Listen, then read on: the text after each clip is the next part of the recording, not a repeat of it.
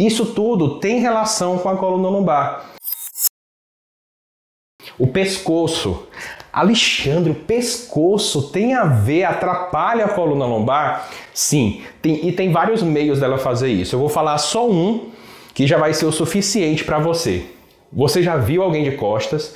Você sabe que quando olha para a coluna de alguém, tem aquele fundinho no meio, onde fica aquelas pontinhas de osso da coluna, a espinha, tá? Os processos espinhosos, e do lado tem duas montanhas de músculos, não é isso?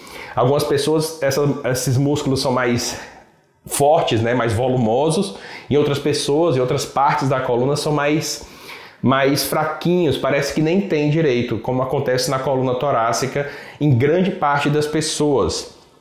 E esses músculos são chamados multífidos e paravertebrais. Eles vêm por trás da coluna e eles fazem uma cadeia de músculos que partem, vêm a partir da coluna cervical até o final do sacro, tá certo? Esses músculos formam a corrente. E aqui a gente já começa a pensar se tem alguma coisa, algum desequilíbrio, algum desalinhamento no pescoço que está sobrecarregando esses músculos, pode ser que eles estejam compensando, fazendo a tua lombar trabalhar mais, acumular mais tensão aqui tá certo? Principalmente se você for daquele tipo de pessoa, daquelas pessoas que além da dor na lombar, tem muito torcicolo, tem muita tensão, esses músculos aqui do ombro ficam muito rígidos. Se isso acontecer, é muito provável que essa cadeia de músculos esteja relacionado com a dor que você está sentindo lá nas costas, na coluna lombar. Tá bom? Alexandre, tem mais relações? Tem. Deixa eu ver se eu posso falar mais alguma. Claro que eu posso. Vou botar aqui na frente. São as vísceras. Quando eu falo vísceras, entenda os órgãos que ficam na barriga, tá certo? Intestino, estômago, duodeno, pâncreas, rins. Isso tudo tem relação com a coluna lombar. Porque você imagina, uh, a maioria das pessoas nunca se perguntou isso, mas por que, que o fígado fica parado aqui no lugar? Por que, que o fígado não cai? Por que, que o estômago ele não desce? Por que, que o, os rins eles ficam lá nas costas paradinhos, quase que não se movimentam? Por que, que eles não descem? Todos aqui vêm, vêm para a pelve, para a bacia. Porque eles estão amarrados, eles têm ligamentos. E a maioria deles estão amarrados na parte de trás da barriga, lá na coluna amarrados nos músculos e na própria coluna. Sabia disso? Pois é. Então, os problemas relacionados ao movimento das vísceras, movimento do intestino, movimento do estômago, movimento do fígado, movimento dos rins, podem e geralmente estão relacionados a problemas na coluna lombar.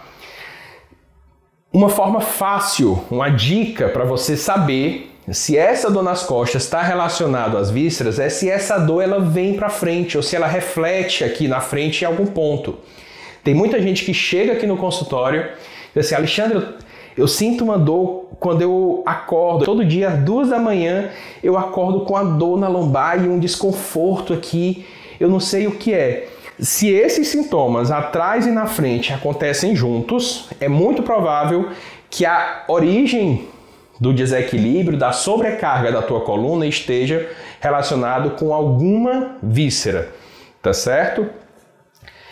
Eu tenho vários vídeos aqui no canal. Se você é novo aqui, eu peço logo que você se inscreva, porque todo dia tem vídeo novo. Uh, e você pode buscar, tá certo? Eu tenho uma playlist inteira relacionado à dor nas costas. Se você olhar nessa playlist, começar a assistir os vídeos de um por um, você vai ver que em alguns vídeos eu falo sobre melhorar a torácica para melhorar a lombar, Outros vídeos eu falo sobre melhorar a pelve para melhorar a lombar. Outros vídeos eu falo sobre melhorar o diafragma para você liberar, dar mais um descanso, mais saúde, mais liberdade de movimento para a tua coluna. Outros vídeos eu falo sobre a relação da coluna cervical com a coluna lombar e outros vídeos eu falo sobre essas causas, esses, essa causa de desequilíbrio, essa causa de sobrecarga na coluna lombar, que são as vísceras. Alexandre, você não vai ensinar nenhum exercício hoje? A gente tem mais de 500 vídeos aqui no canal para isso. Esse vídeo de hoje é para te despertar, para acordar para essas relações, né? Esse outro olhar sobre a tua coluna, sobre a saúde do teu corpo. É você olhar de forma mais aberta, é você se entender melhor. Se você assiste os vídeos e descobre, gente, quando eu trabalhei o diafragma, a minha dor sumiu. É sinal que essa, essa relação da lombar com o diafragma em você, ela é importante, tá certo? O diafragma é uma fonte de desequilíbrio, de sobrecarga para a tua coluna lombar. Então, quando você for na fisioterapia, for fazer uma massagem, for fazer um exercício, você já sabe que você tem que ter uma atenção sobre o diafragma. Descobrir quais relações você precisa melhorar é uma libertação. Não é à toa que no método CCB a gente fala sobre essas relações tanto no segundo passo, onde a gente ensina como controlar as dores, como no terceiro passo, que a gente ensina como blindar a tua coluna, o teu caso, o teu corpo contra futuras crises de dor, de travamento. Tanto controlar a dor quanto prevenir dor, preparar a tua coluna para o dia a dia, sempre tem que passar por essas relações com a coluna, tá certo?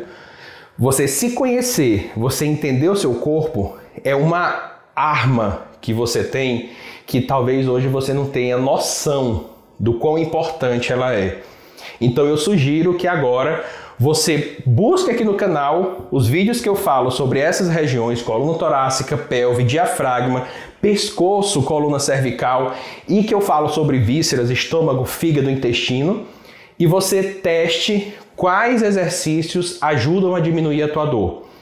Não se preocupe se no vídeo eu falo só sobre como destravar a pelve, por exemplo. Você sabe se melhorar a pelve e a coluna lombar pode dar um bom resultado, um bom controle. Você vencer essa dor na coluna lombar olhando para o restante do corpo. Então eu faço esse desafio para você. Assista os vídeos, teste e depois deixa nos comentários do vídeo ou desse aqui se te ajudou, o que foi que você descobriu, se isso faz sentido para você ou não. E por último, claro, se você conhece alguém que tem dor nas costas, manda esse vídeo para essa pessoa.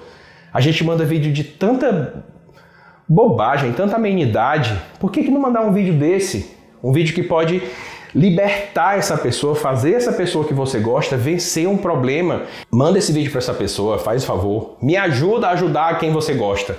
Olha só que bonito. Então, se você tem alguma pergunta, deixa aqui nos comentários. Eu vou ficando por aqui. Um grande abraço e até a próxima.